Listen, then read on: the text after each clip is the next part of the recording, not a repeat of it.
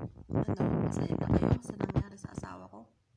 Pinagpipista niyo maigi ang pagkamatay ng asawa ko, mga putang ina ninyo. Ngayon, nailibing ng asawa ko. Sige, ako ngayon na magsasalita. Kung makapanghusga kayo sa akin, inam. Sige, mag-comment kayo ngayon. Sobra na, sobra na. Sobra na ang sinasabi niyo sa akin. Bakit alam niyo ba ang punot dulo sa pagkamatay ng asawa ko? Ha? Hindi niyo ba alam? Gusto niyo pa isa-isahin ko? Gusto niyo pa isa-isahin ko ang punot dulo? Sumusobra na kayo.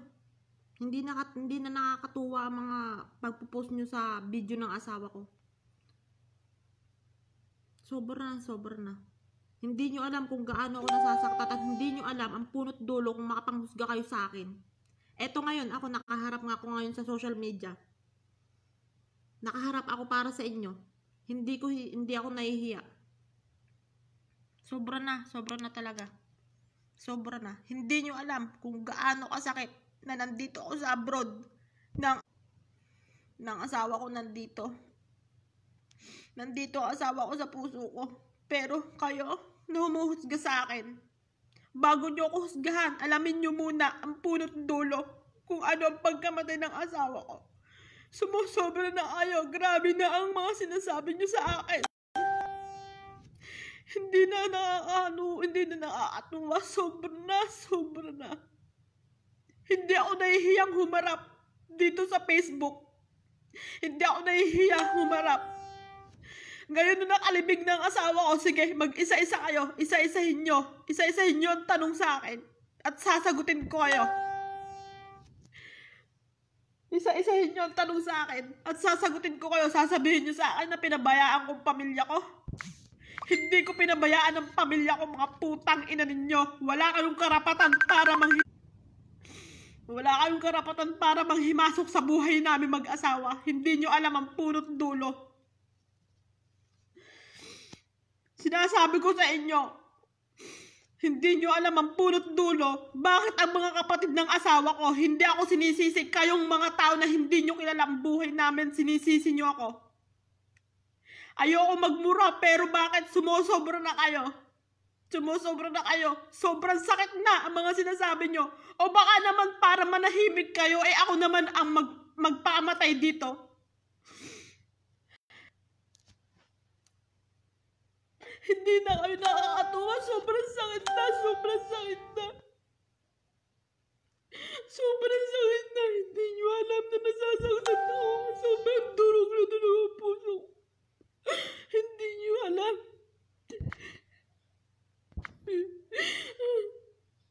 Grabe nyo ako husgahan. Grabe nyo ako pagsalitaan ng mga temalande. Bakit? May pruweba ba kayo? May pruweba ba kayo? Pruweba ba kayo na nanlalalaki ako dito sa abroad? Hindi nyo ba alam ang pataran dito sa Saudi? Kapag nakapaghindutan dito sa lalaki, hindi nyo ba alam? Sobra na kayo. Sobrang sakit na sinasabi niya sa akin. Ngayon naharapin ko kaya, sige, magsi-comment kayo sa video ko na to. Magsi-comment kayo. Mga kapatid nga ng asawa ko, sinasabi sa akin na pabayaan ko na, pabayaan ko na. Kasi wala na kami magagawa, kumalat na sa social media ang video ng asawa ko. Pero bakit ganyan? Hindi nyo man lang iginalang ang pagluluksa namin sa asawa ko. Nakikiusap kami sa inyo pero tuloy-tuloy pa rin ang pagkakalat nyo sa video ng asawa ko. Sumusaba na kayo, sumusaba na kayo. Baka naman matutuwa na kayo kapag ako naman ang magpakamatay dito. hindi ko na kaya, hindi ko na mat, hindi na tumago sa puso ko mga sinasabi niyo sa akin.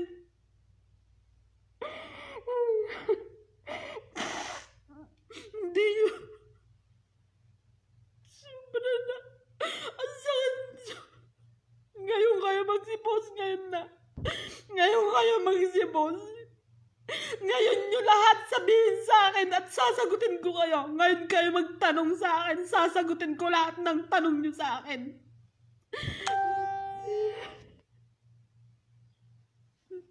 Hindi nyo alam ang punot dulo. Hindi nyo alam ang punot dulo.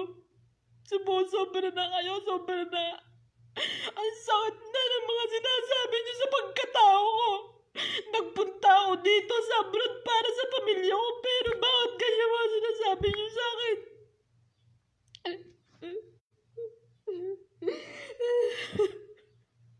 Hindi niyo alam kung gaano ako nasasaktan pagkamatay ng asawa ko. Hindi niyo alam.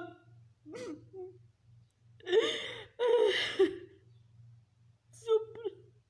Alam niyo kaya nagawa ko tong video na to. Hindi ko na matim ang mga sinasabi niyo sa akin. Oo, puro ako ang nasa video na sinasabi ng asawa ko. Pero hindi niyo alam ang punot dulo.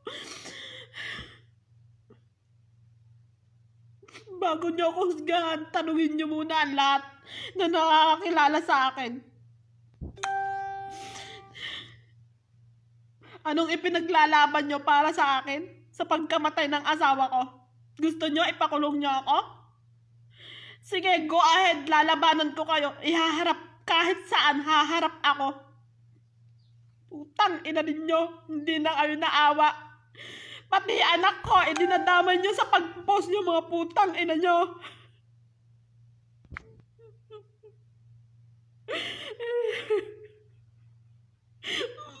sa totoo lang, sobrang sakit na. Bakit yan ang yan nila? Yan ang yan nila siguro kapag ako nawala. Kasi halos lahat, halos lahat ng tao ako sinisisi sa pagkamatay ng asawa ko. Hindi nila alam ang punot doon kung saan nagsimula. Masakit na, sobra na, sobra na. Sobra na, ang pagtapak sa pagkatao ko. Oo, inaamin ko. Nagkamali ako sa asawa ko nung nasa Pilipinas pa ako nang dahil sa kahirapan namin noon sa buhay. Pero na nandito ako sa abroad, never ako nagloko dito sa abroad. Sumusobra na kayo. Ngayon kayo magsi-comment lahat. Sige, magsilabas kayo lahat. Dito sa video ko na to. Tang ina ninyo, hindi ako marunong ano. Hindi.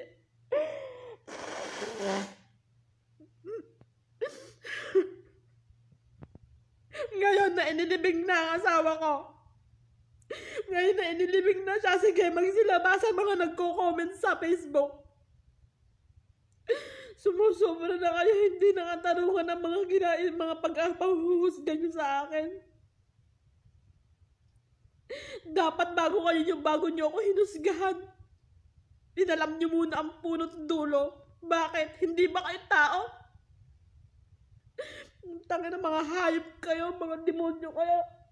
Ngayon ako makakapagsalita, ngayon ako magsasalita sa inyo. Mag-comment kayo lahat. Sasagutin ko lahat ng tanong nyo.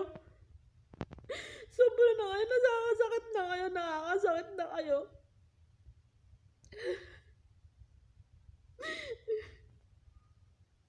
Sobra na hindi ko na kaya.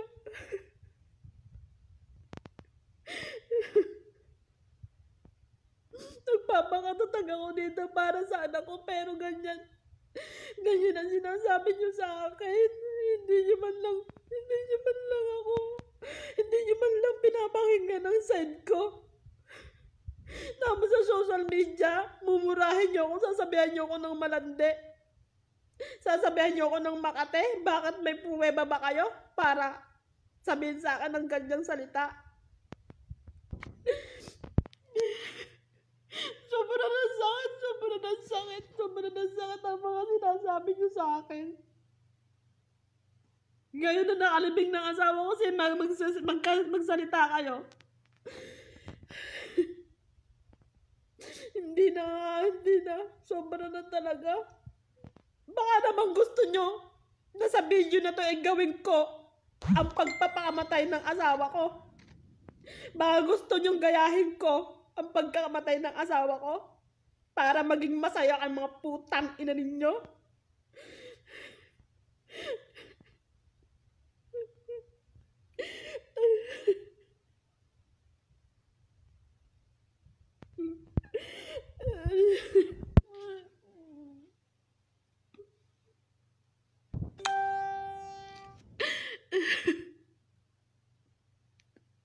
Sumusobra na kayo. Grabe na ang pag-ano nyo sa akin.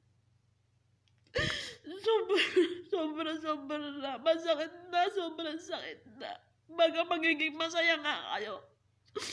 Kapag halimbawa na ako ang namatay naman, susunod naman ako sa asawa ko, baka magiging masaya na lahat ng tao na nagko-comment na nang huhusga sa pagkatao ko.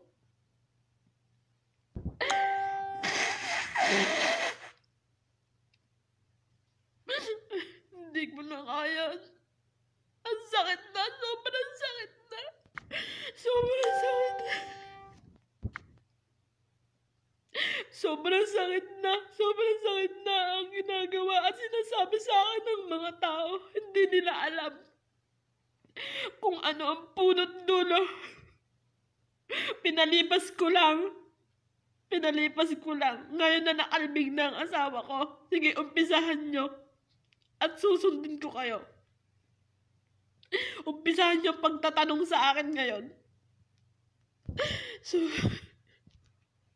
hindi nyo alam kung gaano nadurog ang puso ko na hindi ako makauwi sa pagkamatay ng asawa ko.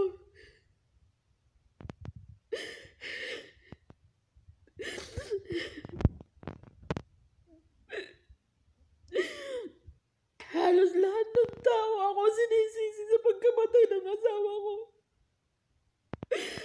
Samantalang ang mga kapatid ng asawa ko, hindi man lang nila ako sinisisi. Sinasabi ng mga kapatid ng asawa ko na pabayaan ko na ang mga nagpupos, hindi na maaano yan, hindi na mapipigil ang magpupos sa video ng asawa ko. Sinasabi ko sa inyo, parang awa nyo na, itigil nyo na, na pagkalat sa video ng asawa ko.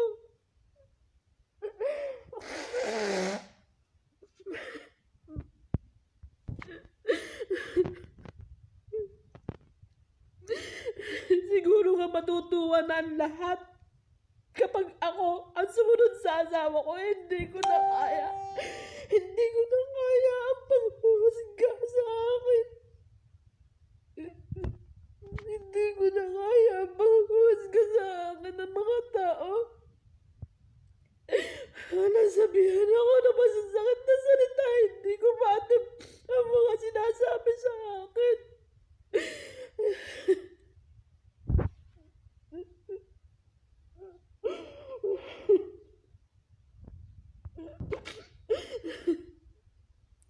Halos buong mundo na ang nakakap nakapanood sa video ng asawa ko. Bakit?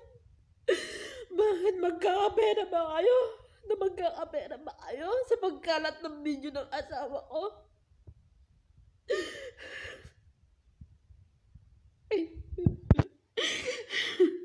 Hindi niyo man lang, oo, puro, puro naisip. Hindi niyo man lang naisip ang anak ko. Pati anak ko, isasama niyo sa post niyo mga putang ina ninyo. Wala kayong mga puso. Mga hayop kayo. Ayoko magmura sa video na to, pero sumusobra na kayo. Sumusobra na kayo sa sinasabi niyo.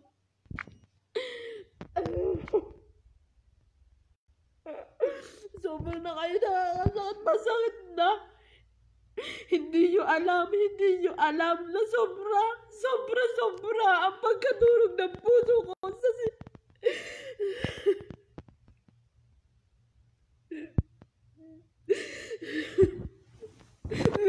sa si... Ngayon nyo sabihin sa akin. Ngayon sabihin sa akin. Baka naman gusto nyo sa harap nyo. Sa harap nyo ako magpakamatay dito. Sumusobra na masakit na mga sinasabi nyo.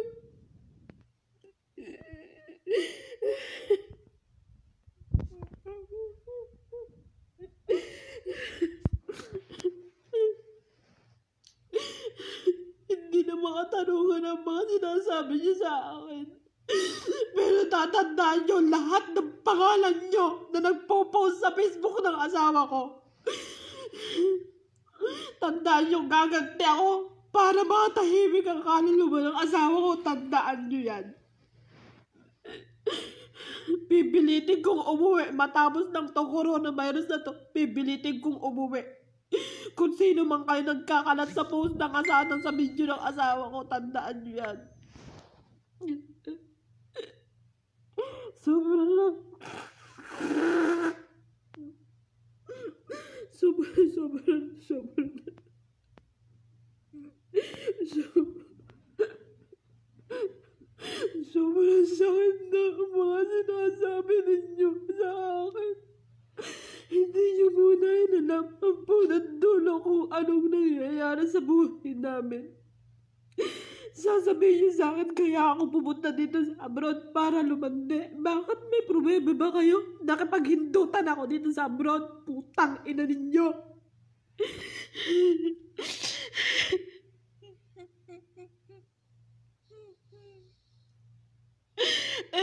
Babayaan mo na sila mas hindi na mapipigil yung video na yan. hindi na mapipigil yan. Siguro naman, napapanahon na rin para matigil sila, para kitilig ko na rin ang buhay ko dito. Sobra, sobra, sobra, sobra. Masakit na, sobra na.